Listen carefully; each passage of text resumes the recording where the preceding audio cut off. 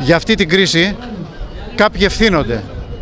Αυτοί που ευθύνονται για την κρίση, δυστυχώς, αυτή τη στιγμή διασκεδάζουν από, τα, από τους καρπούς του παράνομου πλωτισμού τους και τα βάρη αυτής της κρίσης καλούνται να τα πληρώσουν οι εργαζόμενοι και οι συνταξιούχοι με επαναλαμβανόμενες και βίες περικοπές μισθών και συντάξεων.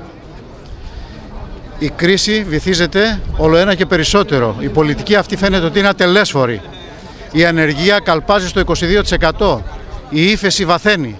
Ναι, αλλά είναι το κόμμα του Μπαζόκ που τα έχει φτάσει εκεί όμως. Συγγνώμη. Φέρει ευθύνη όλο το πολιτικό σύστημα χωρίς να αποποιούμαστε τις ευθύνες αυτές τις σοβαρές που φέρει η κυβέρνηση του Πασόκ με τα λάθη που έχει κάνει στη διαχείριση της κρίσης. Αυτό δεν το αμφισβητεί κανένας και πρώτοι εμείς το λέμε. Όμως περιμέναμε από το πολιτικό σύστημα γενικά της χώρας μια πιο υπεύθυνη στάση.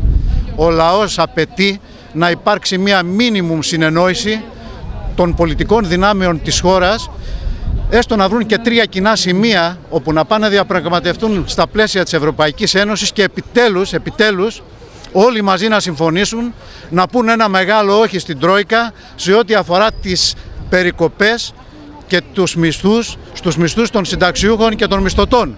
Αυτό πρέπει να το κάνουν όλοι. Διαφορετικά αφήνουν υπόνοιες ότι όλοι είναι ενταγμένοι σε αυτό το παιχνίδι που λέγεται αφέμαξη του ελληνικού λαού.